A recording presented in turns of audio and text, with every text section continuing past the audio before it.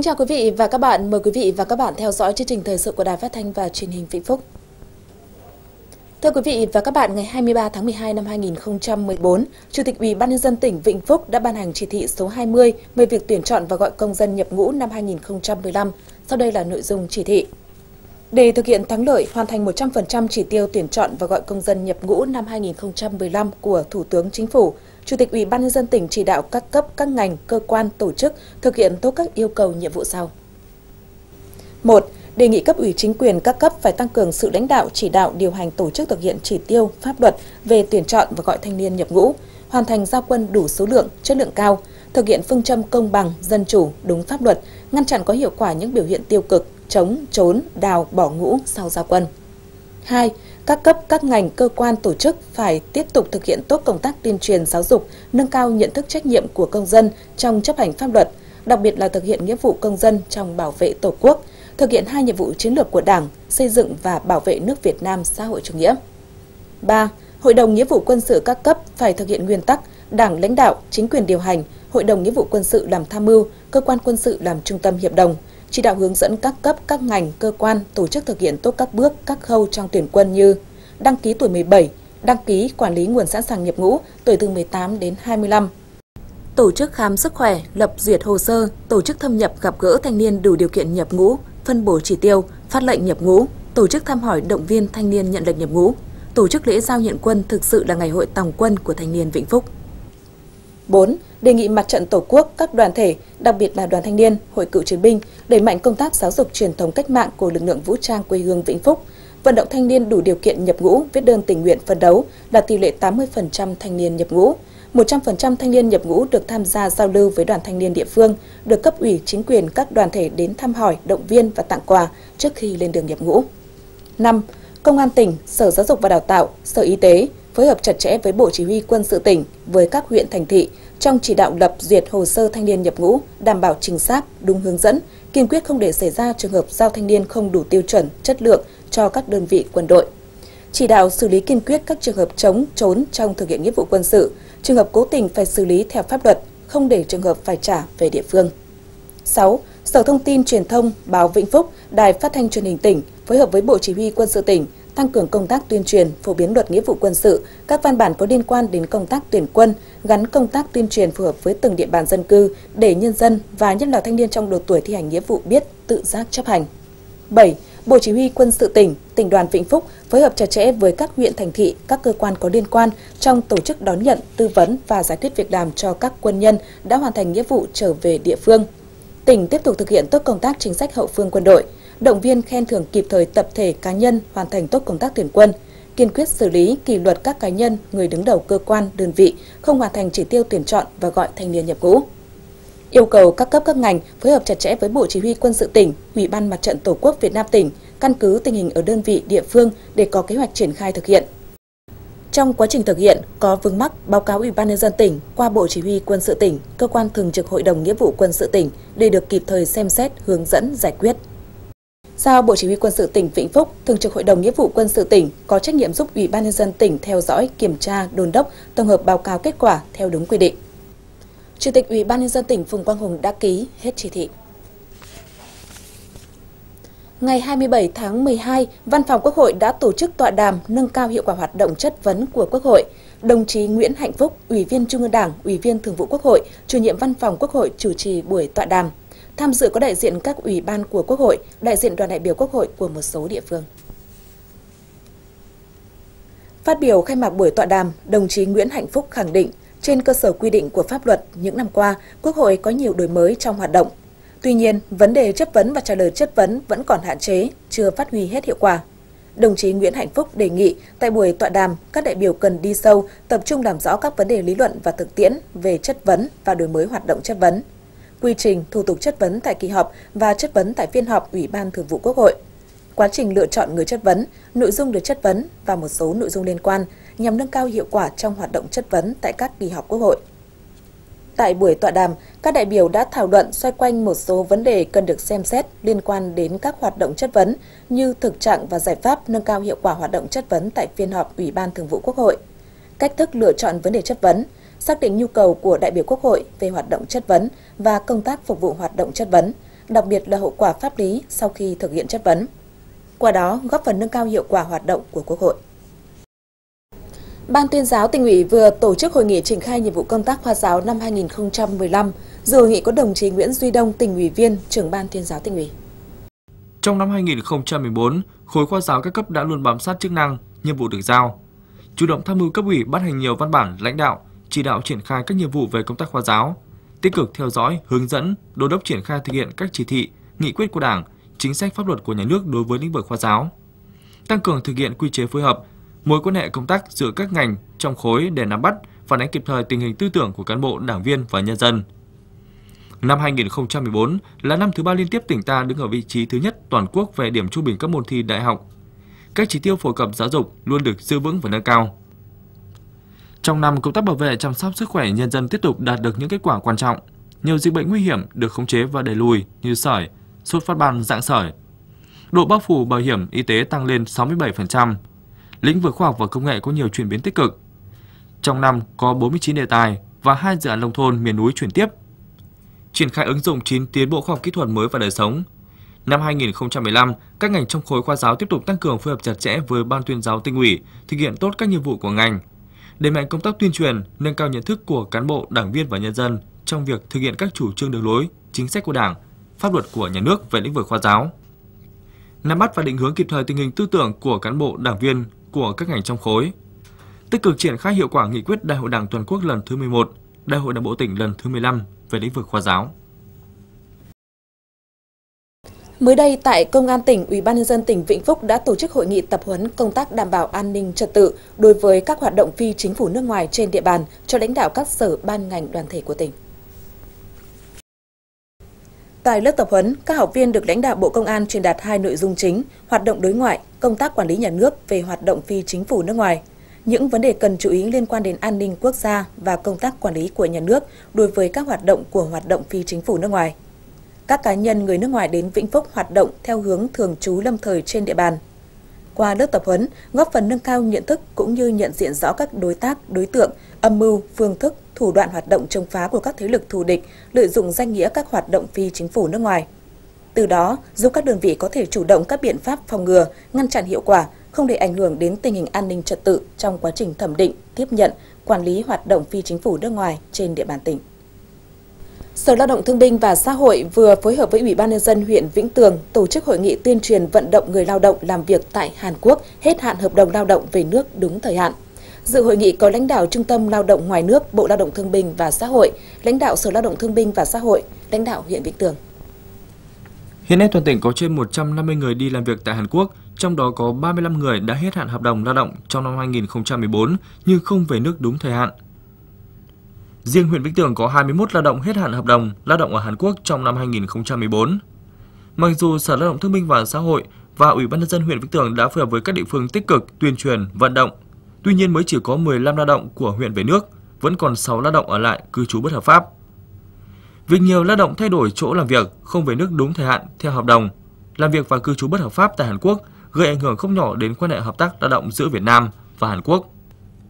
Để vận động người lao động đã hết hạn hợp đồng lao động tại Hàn Quốc về nước đúng thời hạn, lãnh đạo Trung tâm Lao động ngoài nước, lãnh đạo Sở Lao động Thương binh và Xã hội đã cung cấp thông tin về các chính sách, quy định của chương trình luật cấp phép lao động nước ngoài, những quy định mới được ban hành của phía Việt Nam và Hàn Quốc. Đồng thời yêu cầu các địa phương trên địa bàn huyện Vĩnh Tường tăng cường công tác tuyên truyền vận động đến từng gia đình người lao động đi làm việc tại Hàn Quốc về nước đúng quy định. Đặc biệt là vận động 40 lao động làm việc tại Hàn Quốc hết hạn hợp đồng lao động trong năm 2015 về nước đúng thời hạn.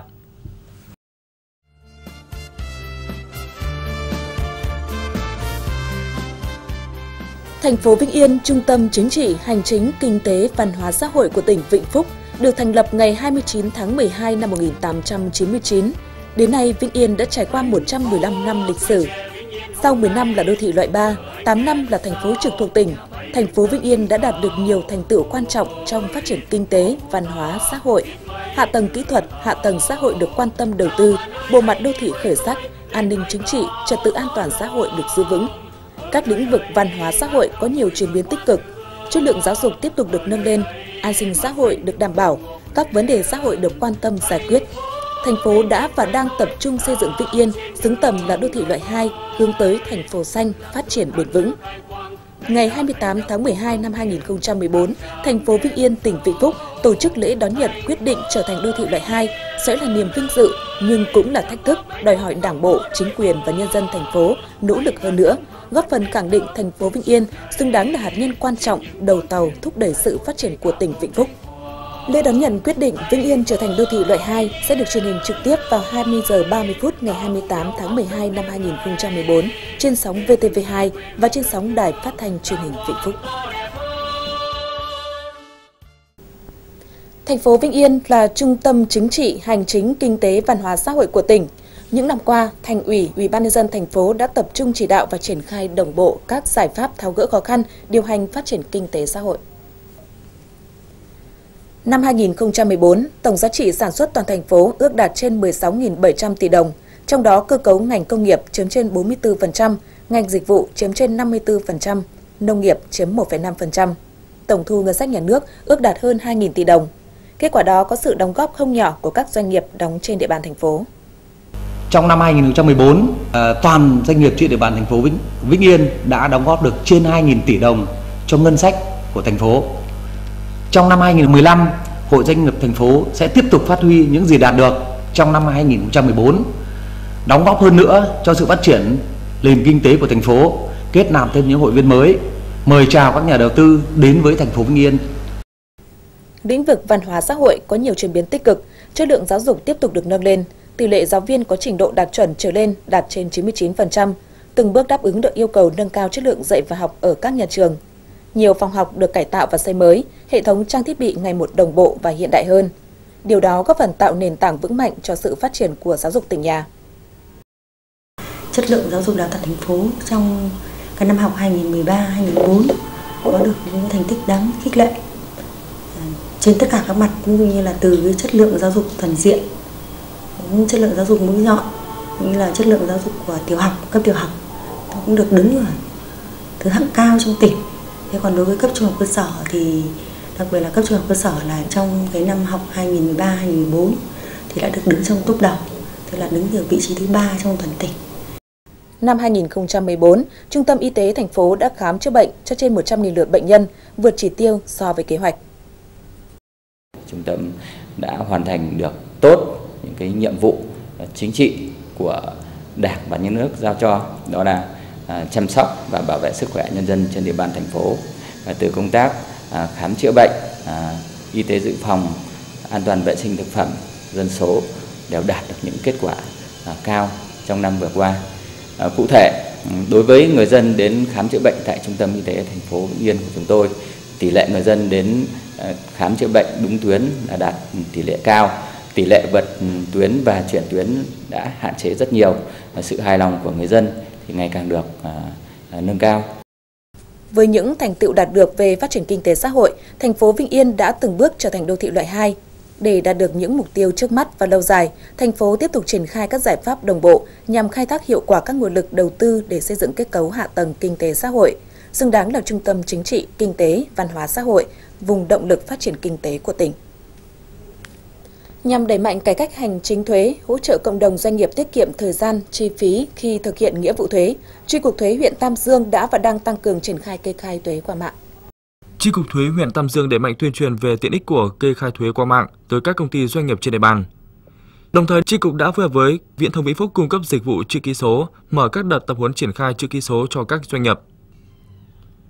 Đến nay, việc ứng dụng kê khai thuế qua mạng đã được khá nhiều doanh nghiệp trên địa bàn thực hiện Nhờ đó doanh nghiệp không phải đến cơ quan thuế nộp tờ khai nên không mất thời gian chờ đợi. Có thể gửi tờ khai vào thứ bảy chủ nhật hoặc ban đêm. Công tác in ấn lưu trữ thuận tiện hơn, tiết kiệm được chi phí văn phòng phẩm và chi phí đi lại. Trong thời gian tới, Chi cục thuế huyện Tam Dương tiếp tục đẩy mạnh tuyên truyền, phối hợp với các nhà cung cấp dịch vụ sẵn sàng đáp ứng nhu cầu của doanh nghiệp. Đồng thời nâng cấp hạ tầng mạng và phần mềm ứng dụng quản lý thuế tạo điều kiện cho việc tiếp nhận, xử lý hồ sơ kê khai thuế qua mạng, tiến tới thực hiện triển khai kê khai thuế qua mạng trên phạm vi toàn huyện. Nhà kính là một trong những mô hình hiệu quả trong sản xuất nông nghiệp theo hướng công nghệ cao, đáp ứng yêu cầu phát triển nông nghiệp bền vững. Nhà kính cho phép kiểm soát đầy đủ và chặt chẽ hầu hết các thông số của quá trình sản xuất như nhiệt độ, ánh sáng, độ ẩm, khí carbonic, khí oxy. kể cả việc sử dụng tối ưu đất canh tác để đáp ứng cho sự sinh trưởng, phát triển tốt nhất và kiểm soát được sâu bệnh hại cây trồng. Tuy nhiên, chi phí để lắp đặt nhà kính công nghệ khá tốn kém. Các hộ gia đình có nhu cầu lắp đặt và sản xuất nông nghiệp theo hướng hiện đại này cần có sự hỗ trợ của nhà nước. Mục tiêu của dự án thì là nhằm giúp cho bà con nông dân trong tỉnh sản xuất hàng hóa theo hướng công nghệ cao. Thì cái điều kiện để được hỗ trợ của dự án này là diện tích xây dựng mô hình thì nó phải là từ 500 m2 trở lên. Điều kiện thứ hai nữa là nhà kính thì phải nhà kính ứng dụng công nghệ cao, có thể điều chỉnh được nhiệt độ, ánh sáng, độ ẩm. À, và cái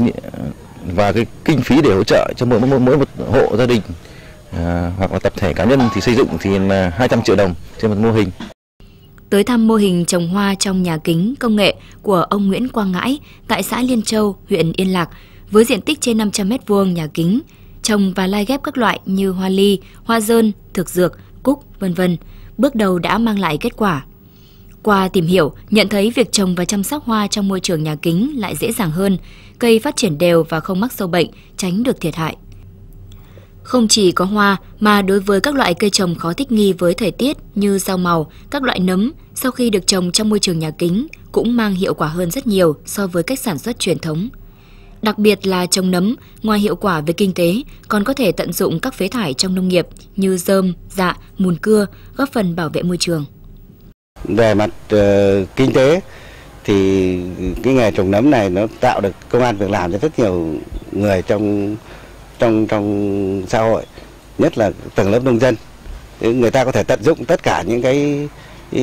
lán trại hiện có cải tạo lên để có thể làm được nhà trồng nấm tận dụng được cái công nông nhàn trong trong gia đình cũng có thể làm được nấm thế cho nên là thì nó cũng đảm bảo được cho người ta với mức lương tối thiểu từ 2 triệu rưỡi đến 3 triệu đồng trên tháng. Hiện trên địa bàn tỉnh đã có 7 mô hình trồng trọt trong nhà kính công nghệ được triển khai, đi vào hoạt động và mang lại hiệu quả kinh tế ổn định cho các hộ sản xuất. Với những ưu điểm đó, cần nhân rộng các mô hình sản xuất nông nghiệp trong nhà kính nhằm phát triển sản xuất nông nghiệp theo hướng bền vững.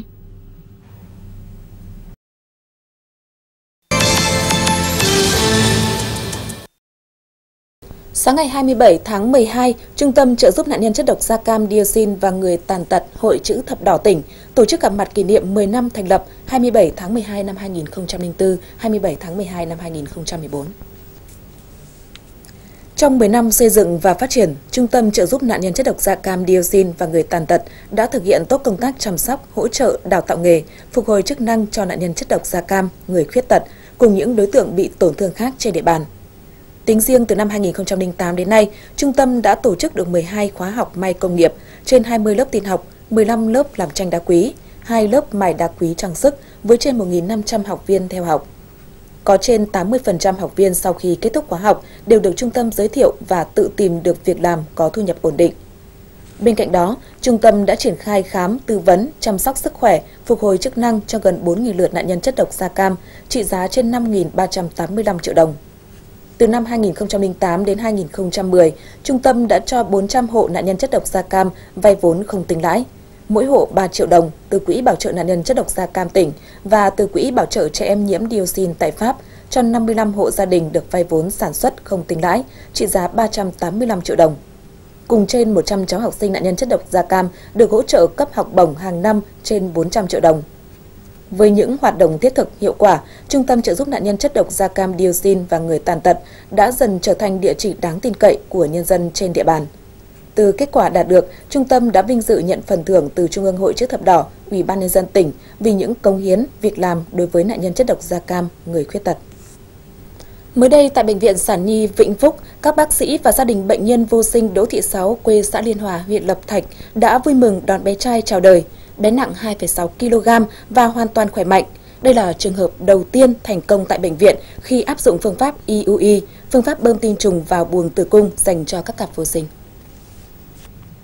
Được biết, Bệnh viện Sản Nhi Vĩnh Phúc đã tiếp nhận chuyển giao kỹ thuật này từ Bệnh viện Phụ sản Trung ương và bắt đầu áp dụng điều trị cho các bệnh nhân hiếm muộn vô sinh từ tháng 4 năm 2014. Trong 8 bệnh viện vệ tinh của Bệnh viện Phụ sản Trung ương, thì Bệnh viện Sản Nhi Vĩnh Phúc là bệnh viện thứ hai thực hiện thành công phương pháp này. Hiện nay, Bệnh viện Sản Nhi là cơ sở chính thức duy nhất tại tỉnh ta áp dụng phương pháp bơm tinh trùng vào buồng tử cung để điều trị cho bệnh nhân vô sinh hiếm muộn. Tỷ lệ thành công của phương pháp này là từ 15 đến 20%. Hiện đang có nhiều bệnh nhân hiếm muộn vô sinh đang điều trị tại đây đã và đang mang thai chờ ngày sinh. Dự kiến trong 5 năm tới khi xây dựng xong trụ sở tại xã Đồng Văn, huyện Yên Lạc, Bệnh viện Sản Nhi Vĩnh Phúc sẽ có kế hoạch đầu tư trang thiết bị và con người để có thể tiếp nhận chuyển giao kỹ thuật IVF, kỹ thuật thụ tinh trong ống nghiệm của Bệnh viện Phụ sản Trung ương. Kỹ thuật này có tỷ lệ thành công từ 30 đến 50%. Đây có thể nói là việc làm rất nhân văn, mang lại niềm vui lớn cho các cặp vợ chồng hiếm muộn và vô sinh tại tỉnh nhà.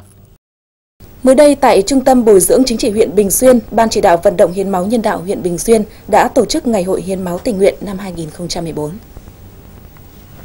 Với thông điệp mỗi giọt máu cho đi, một cuộc đời ở lại đã truyền tải một ý nghĩa nhân văn sâu sắc. Với cái ý nghĩa xã hội rất sâu sắc, tức là cái giọt máu mà cho đi thì sẽ giúp cứu giúp được rất nhiều những căn bệnh hiểm nghèo mà cần máu. Thế vì thế mà các cái phong trào tình nguyện trên địa bàn cũng được phát động, được đẩy mạnh và sự vào cuộc của chính quyền, các đoàn thể cũng như là bên các tổ chức. Cuộc vận động đã nhận được sự quan tâm của đông đảo các cán bộ, công chức, viên chức, các đoàn viên thanh niên thuộc các cơ quan, ban ngành đoàn thể và trường học trên địa bàn huyện với trên 400 người đăng ký tham gia hiến máu. Mình à, tham gia hiến máu lần này lần thứ năm rồi và mỗi lần mình được đi hiến máu mình cảm thấy là rất vui vì à, mình à, đã đóng góp một cái phần máu của mình cho những người đang rất là cần. Thế là mình thấy là giúp được người khác là mình thấy rất vui. Tham gia ngày hội hiến máu, à, mình cảm thấy rất là vui nhưng mà mình hơi hồi hộp bởi vì đây là lần đầu tiên mình tham gia hiến máu. À, nhưng bên cạnh đấy thì uh, hiến máu, hiến mình hiến một chút máu để uh, của mình để có thể cứu sống được một mạng người hoặc là cứu sống một ai đấy mình cảm thấy rất là vui.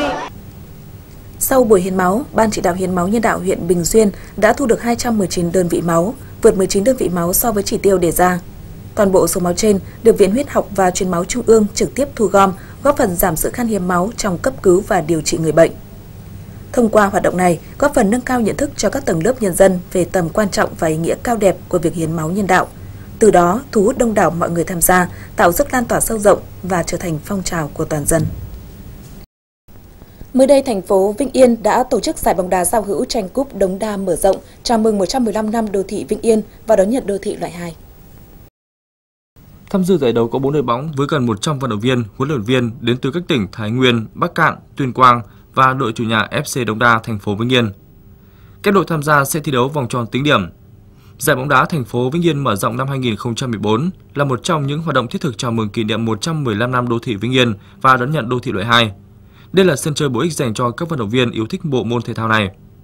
Thông qua giải đấu, thành phố Vĩnh Yên sẽ tiếp tục đẩy mạnh và phát triển hoạt động thể thao, giao lưu thường niên trong phong trào thể dục thể thao quần chúng trên địa bàn, nhằm thực hiện hiệu quả cuộc vận động toàn dân rèn luyện thân thể theo gương Bắc Hồ vĩ đại. Bế mạc giải đấu ban tổ chức đã trao giải nhất và cúp cho đội bóng FC Đông Đa thành phố Vĩnh Yên là lực lượng chủ chốt trong việc đảm bảo an ninh trật tự. Trong những năm qua, Công an thành phố Vĩnh Yên đã bảo vệ an toàn tuyệt đối các mục tiêu trọng điểm về chính trị, kinh tế, an ninh quốc phòng và các sự kiện diễn ra trên địa bàn.